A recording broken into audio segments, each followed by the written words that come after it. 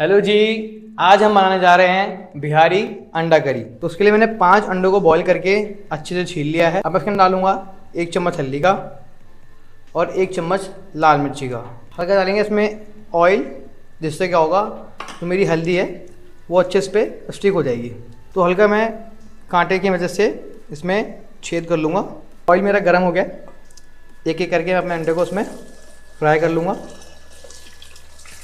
गरम ऑयल में ही अंडे को डालिए। आपको अंडे को मीडियम फ्लेम पे ही फ्राई करना है। तो देख सकते हैं, मेरे अंडे अच्छे से फ्राई हो गए। तो अपने अंडों को हम निकाल लेंगे। ओ वाह देख सकते हैं कितना अच्छा टेक्सचर आया। है तो आइए, आज हम बिल्कुल ऑथेंटिक तरीके से बनाएँगे। बिहारी अंडा करी मिट्टी की मटकी के अंदर। तो जी, मैं इसमें डालूँगा लगभग सत्तर एम के लगभग देसी घी, पाँच हरी इलायची, दो तेज पत्ता डालूँगा मैं तोड़ के। मेरे अच्छे फूल गए हैं पॉपअप हो गए। एक बार चम्मच डालेंगे जीरे का। क्रश ब्लैक पेपर डालूँगा उसके अंदर मैं। अब डाल दूँगा चार बड़े प्याज स्लाइस करे हुए। तो जी अच्छा से मारूँगा मैं इसके अंदर स्टर एक चम्मच डालेंगे हम नमक, जो हमारे प्याज को गलाने में करेगा हेल्प और ढक्कन लगा के हम इसको पकाएँगे लगभग तीन से चार मिनट जब तक हमारी प्याज गल नहीं जाती। हम सात से आठ हरी मिर्च को दरदरा पीस लेंगे। जो तैयार है, दरदरी हरी मिर्च का एक पेस्ट एक चम्मच डालूँगा जीरा, एक बार चम्मच होल कोरिएंडर आधा चम्मच होल ब्लैक पेपर तीन डालूँगा होल रेड चिली इसके अंदर, एक फूल डालूँगा जावित्री का, आधा इंच दालचीनी डालेंगे। पानी की मदद से हम इसका एक अच्छा सा फाइन बना लेंगे पेस्ट तो जी, खड़े मसाले का दरदरा पेस्ट हमारा रेडी है। अभी हम प्याज चेक कर लेते हैं अपनी। प्याज ने हमारी कलर बदल लिया है। ट्रांसलूसेंट हो गई है। दो डालेंगे होल लहसन, एक चम्मच डालेंगे हल्दी का, हरी मिर्च का दरदरा पेस्ट साथ में डालूँगा दो चम्मच जिंजर और गार्लिक का पेस्ट अपने खड़े मसालों को हम पेस्ट डाल देंगे इसके अंदर। एक चम्मच लाल मिर्च पाउडर। अच्छा से देंगे हम पूरे मसाले को स्टर तो ये हर चीज़ मैंने मिक्स कर दिया है।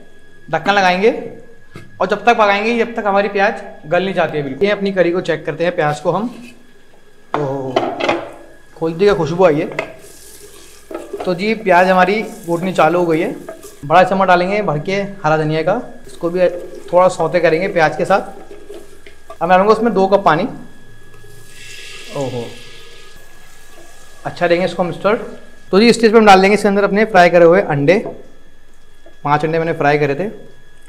वो मैं डाल दूँगा इसके अंदर। इसको दूँगा एक अच्छा सा स्टर और ढक्कन लगा के उसको पकाएँगे लगभग पाँच से सात मिनट तक और। पाँच से सात मिनट हो गए अंडा करी को देखते खोल के। ओहो। क्या मस्त पक रही है, तेल ऊपर आ चुका है। अंडा करी हो गई रेडी आइए करते हैं प्लेट वो ना भी फूडे के स्टाइल में। तो जी, आज हमने आपको बना के दिखाई है बिहारी अंडा करी बिगर खटाई वाली, टमाटर वाली। बहुत ही अच्छी रेसिपी है। एकदम हमने आपको ऑथेंटिक तरीके से बना के दिखाई है। बनाइए घर पे हरा धनिया, हल्के से कटे हुए जिंजर तो जी, आज हमने बनाई है बिहारी अंडा करी बिल्कुल ऑथेंटिक स्टाइल में बनाई है। कोई भी क्वारी हो रेसिपी से रिलेटेड हमें इंस्टाग्राम पर एम कर सकते हैं। Thank you for watching